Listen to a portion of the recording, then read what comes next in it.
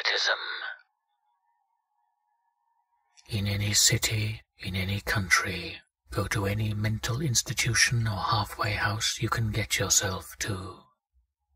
Be sure to bring one bar magnet in each pocket, and do not let their opposite ends touch the ones of the other.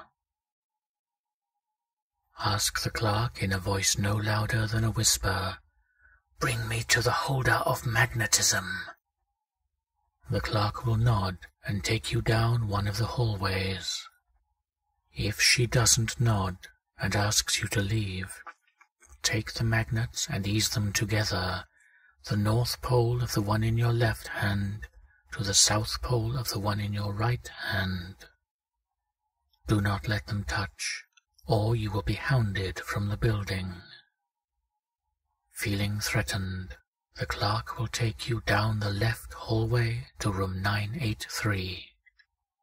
If you had to use the magnets now, put them back in your pockets.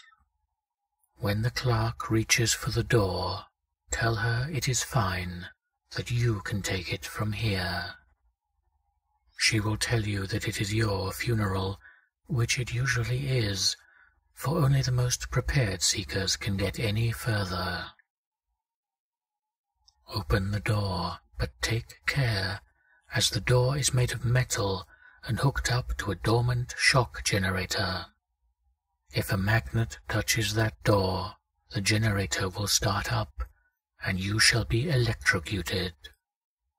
When you go inside, turn on the lights and close the door in that order. A dark figure will ask to play a little game with you. If you have the ball, you're safe from this point on.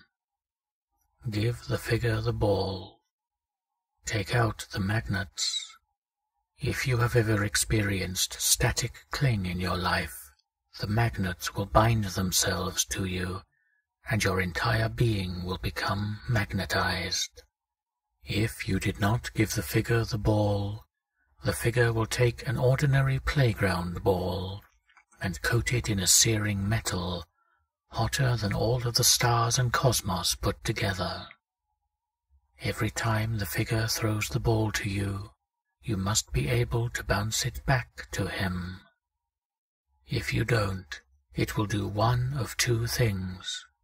The throw could be so hard that you get slammed into the door, or the ball will stick to your magnetic body, its searing metal welded to you forever, and you will live as an outcast. Your only hope for passing this trial is the shield. The number of throws that you must return is different for every seeker. If you pass, he will free you of your magnetic form and take off the metal on the ball and give it back to you. He will then take out another ball and you will feel that your other objects are being pulled out of your hands or pockets. Clench them tightly. Fail to do so and lose them forever.